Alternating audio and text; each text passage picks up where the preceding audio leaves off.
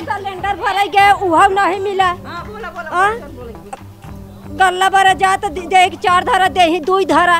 कहीं के ले थोले नहीं चला हटा। नौ साल हो गए मोदी सरकार में आपको कुछ भी दिखा कोई भी ऐसा काम दिखे। कुछ नहीं देनी है हगाऊ बड़े मारा तो है। मोदी सरकार से मोदी नहीं मोदी बेकार आएँगे। नमस्कार मैं रिद्धि यादव। हैशटैग भारत के खास प्रोग्राम यादव चौपाल 2024 में एक बार फिर से आपका बहुत बहुत स्वागत है। हम जहाँ पे अभी खड़े हैं वो लोकसभा फूलपुर का बीरापुर गाँव है जो कि एक यादवों का गढ़ माना जाता है। तो चलिए यहाँ के यादवों से मिलते हैं और ये जानने की कोशिश करते हैं कि क्या लोकसभा चुनाव को लेकर यादवों की जो अपनी राय है वो अखिलेश यादव से हट चुकी है। क्या मोदी के साथ आ चुके हैं सभी यादव? आइए यहाँ के लोगों से बात करते हैं उनकी निजी समस्याएँ जानते हैं साथ ही ये भी जानने की कोशिश करते हैं कि क्या है उनकी अपनी चुनावी राय। क्या चाहती है आपकी जो चुनाव होने वाले उसमें किसकी सरकार बने? मोदी की बने या गठबंधन में जो अखिलेश यादव और कांग्रेस साथ में है, इन सबकी सरकार है। बनी है। आप क्या कहना चाहती? दादी क्या समस्याएँ हैं गाँव की? आप बताना चाहेंगी कुछ? गाँव को समस्या भैया अखिलेश को चाहिए थी अखिलेश बने चाहिए सरकार।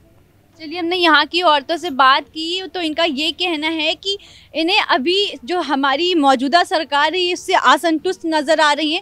तो इनके मुताबिक जो गठबंधन की सरकार है जिसमें अलायंस है ये उन्हें एक बार सत्ता में लाना चाहती हैं। साथ ही हम और लोगों से भी जुड़ेंगे और जानेंगे कि उनकी अपनी लोकसभा चुनाव को लेकर क्या राय है। क्या लगता है आपको कि लोकसभा चुनाव आ रहे हैं उसमें मोदी दोबारा से वापस आएँगे? उनके कामों को देख के आपको लगता है? का बोली? हाँ का बोली बतावा। सिलेंडर भरे गए उहा नहीं मिला। हाँ? गल्ला बरे जा तो दे- चार धारा दे दुई धारा। कहीं के ले थोले नहीं चला हटा। आवास की बात की थी मोदी जी ने घर देने की वो यहाँ आपको लगता है गाँव में मिला है किसी दुनिया का कॉलोनी जकरे रुपया पैसा बा वही के देता है और गरीब दुखिया केव को नहीं देता है? और कौन कौन सी समस्याएँ जो आपको लगता है कि समाधान उनका नहीं हुआ है ऊपर से वो बढ़ गई हैं? जब दे जब दे तब बोले का कहा आपको क्या लगता है किसकी सरकार आएगी तो आपकी सभी समस्याओं का समाधान हो जाएगा?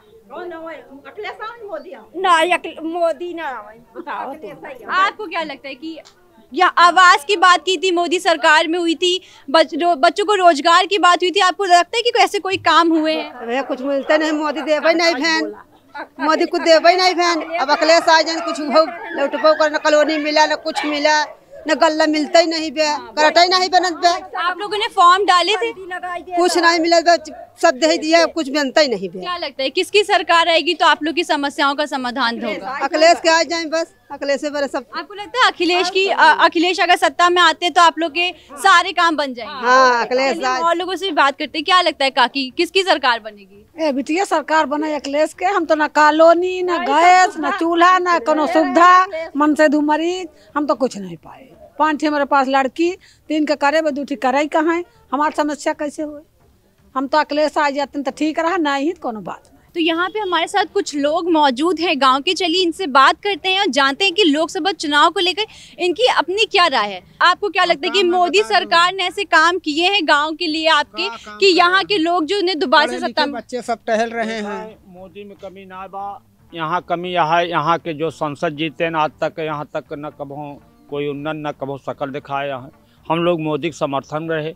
लेकिन अब की मूड अब बना है अखिलेश कैसी जाएगी तो देखिए हमने यहाँ के लोगों से बात करने की कोशिश की तो उनका कहना है कि वो मोदी के समर्थन में पहले थे बट अभी उनके विचार बदलने लगे। दादा क्या लगता है आपको? आप उनकी बात से सहमत हैं या आपकी अपनी अलग राय है? नहीं यही सहमत है। तो किन मुद्दों को लेकर आपका जो विचार है वो बदल रहे हैं? मुद्दों में अब बदल रहा है भैया कि जब संसद विधायक यहाँ आते ही नहीं कभी, कोई योजना सुनवाई नहीं करते, हम गरीब मन के कहाँ जाएँगे, कोई योजना भी यहाँ पास पहुँच नहीं पा रही। यहाँ से अब की अखिलेश को सभी बोल रहे हैं तो हम कि चलो भाई अखिलेश से कब की आपको लगता है अगर अखिलेश यादव अगर एक बार इंडिया गठबंधन जो है आ जाता है सत्ता में तो वो आपके गाँव के विकास के लिए काम करेंगे? जी हाँ यही भरोसा कौन सी। समस्याएँ हैं आपके गाँव में जो फ़िलहाल उनका समाधान नहीं हो पा रहा है? असल में एक बार जब वो मुख्यमंत्री रहे तो उन्हीं के बनाई ये रोड वोड रही सड़क जब से वो हटे ने आज तक यहाँ कोई भी नहीं पाए। हम लोग तो क्या करें विकास नहीं पाए। इसीलिए हम लोग अखिलेश अब की रहेंगे। यहाँ के लोगों का कहना है कि मोदी सरकार में उनके गाँव में उन्हें बिल्कुल भी विकास की चीज़ें नज़र नहीं आई आई, और लोगों से मिलते हैं और युवाओं से बात करके जाने की कोशिश करते हैं कि उनकी अपनी निजी कौन कौन सी समस्याएँ जो गाँव में उन्हें देखने को मिल रही है। गाँव में समस्या तो बहुत है वैसे। तो इसमें जैसे अखिलेश की सरकार में हर युवाओं को नौकरी मिली। अब ये ये मोदी सरकार में रोज़गार भी छीन उठाए, कुछ भी नहीं मिला हम लोगों को। ना कहीं का रोज़गार सब इधर उधर भटक रहे हैं। तो आपको क्या लगता है कि अगर सत्ता परिवर्तन होता है तो युवाओं की नौकरी पे फोकस होगा गवर्नमेंट का? ज़रूर से ज़रूर फोकस होगा। चलिए हम लोगों से बात करते हैं और जानने की कोशिश करते हैं। नाम क्या है काकी आपका? रामकली। क्या क्या है? गाँव की समस्याओं की बात करें तो कौन कौन सी समस्याएँ हैं जिनका समाधान होते हुए आपको नहीं दिख रहा है? एक समस्या ये है कि तीन साल हो गया हमारे गैस का कनेक्शन नहीं हुआ। कहन कि कनेक्शन हमारा हो गया है दोबारा कनेक्शन का हम जब जायद करे बरे तो कहा नहीं कनेक्शन तुम्हारा हुआ है तो हमको टंकी नहीं मिली तो हम भूखन मरे। आपको ये बोला गया है कि आपका कनेक्शन हो गया बट अभी तक आपको सिलेंडर प्रोवाइड नहीं करवाया गया। हमको सिलेंडर नहीं मिला। चलिए हम और लोगों से भी जानने की कोशिश करते हैं कि आपके साथ भी यही समस्या है। आपको सिलेंडर मिला है? हाँ ही हमको नहीं मिला। खाना किसमें बनाती हैं आप? खाना चूल्हे पे बनाती चूल्हे में खाना बनाती हैं। आपको सिलेंडर मिला हुआ है? सिलेंडर नहीं मिला। सरकार की तरफ़ से जितनी भी योजनाएँ महिलाओं के लिए की गई हैं सरकार तो बोलती है कि उन्होंने विधवाओं के लिए भी बहुत काम किया है गाँव में राशन पानी दिए क्या मिलता है? हमका विधवा पेंशन नहीं मिल पाया। तो क्या लगता है सत्ता परिवर्तन होना चाहिए अखिलेश यादव की और इंडिया गठबंधन आना चाहिए या मोदी सरकार नहीं आवे चाहिए और कौन कौन सी समस्याएँ हैं आपकी गाँव को लेकर? अरे पानी की गत है नहा नहीं है लैटरिंग का बाटा नहीं के शौचालय के लिए तो मोदी जी हमेशा कहते रहते हैं कि उन्होंने बहुत सारे गाँवों में शौचालय बनवाए हुए पर आप यहाँ पे। मोदी जी का कोई शौचालय नहीं बना हुआ है या ये पूरे गाँव भरे में। यहाँ मोदी का कोई विकास नहीं हुआ है। चलिए पूरे यहाँ भरे में। आपको लगता है कि अगर सत्ता परिवर्तन होता है तो यहाँ पे जो निजी समस्याएँ हैं गाँव की अपनी उनको लेकर सुधार होंगे? अगर अखिलेश की सरकार आएगी तो यहाँ परिवर्तन हो जाएगा। चलिए यहाँ के अगर जैसे अखिलेश की सरकार आएगी तो यहाँ परिवर्तन होगा। अगर मोदी की मोदी की सरकार रहेगी तो यहाँ परिवर्तन नहीं आएगा। गाँव के पूरे गाँव के रुझान की बात करें तो आपको किस तरफ़ मुड़ता हुआ दिख रहा है? तो हमारे गाँव के मुद्दे नज़र रखते हुए अखिलेश की तरफ़ सरकार हमारी जाती हुई है। आपको मुलायम सिंह बोलते हैं गाँव में तो क्या लगता है मुलायम सिंह जी की? यहाँ पे सत्ता परिवर्तन होगा या दोबारा से मोदी सरकार बने? वैसे मोदी सरकार अभी विफल रही है यहाँ पे। हमारे गाँव के हिसाब से बोल रहा हूँ ठीक है? क्योंकि यहाँ पे योजनाएँ आई लेकिन किसी किसी को मिली हैं कुछ योजनाएँ। जैसे शौचालय हुआ तो शौचालय सबको बराबर सुचारू रूप से नहीं मिला हर जगह। किसी का हुआ पास जैसे गाँव में साठ घर है।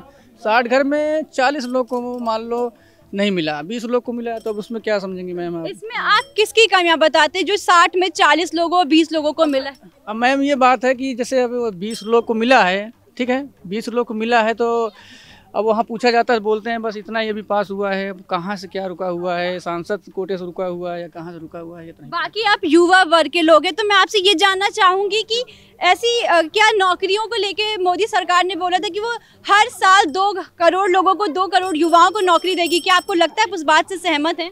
नहीं अभी इस बात से सहमत नहीं है क्योंकि मैम अभी चूँकि पाँच छः पाँच साल से कोई भर्तियाँ नहीं हो रही थी अभी ये चुनाव आने वाला है। इस टाइम भर्तियाँ कुछ शुरू हुई हैं।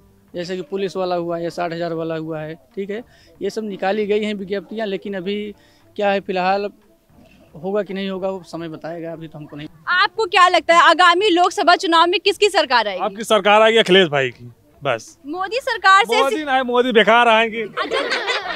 मोदी नहीं है मोदी नहीं। ऐसी कौन सी वजह है जिसकी वजह हम भैया बहुत दूर से गुजरात पैदा रहे ही हम ना कह पाओ। मोदी ना दे हम अखिलेश भैया दे भाई और बादल क्यों न दे वजह की बात करें कि किन वजहों से आप नाराज़? कहा सुविधा सही बात सुविधा कोई मिलता ही नहीं है। है काकी नाम क्या है आपका? सुशीला देवी। क्या लगता है आपको? किसकी सरकार आएगी? भैया मोदी मोदी तो न जिया पाई और सोझा मार दही और अखिलेश आई जी तो मनाई के सब चीज़ की सुविधा दे दी नौ साल हो गए मोदी सरकार में। आपको कुछ भी दिखा कोई भी ऐसा काम दिखे। कुछ ना देन हिया हगाऊ बरे मारा तो है। दासु पूर्वक मनाई। यहाँ के लोगों से हमने बात की। यहाँ के लोग जो मौजूदा सरकार है उससे काफ़ी असंतुष्ट नज़र आ रहे हैं। इनके हिसाब से इनका कहना है कि अगर सत्ता परिवर्तन होता है तो इन इनके जो भी बाकी के काम है इनकी जो समस्या है उनका समाधान हो सकेगा हम आगे और भी लोगों से जुड़ेंगे। तब तक के लिए बने रहिए कैमरामैन मिराज खान के साथ रिद्धि यादव।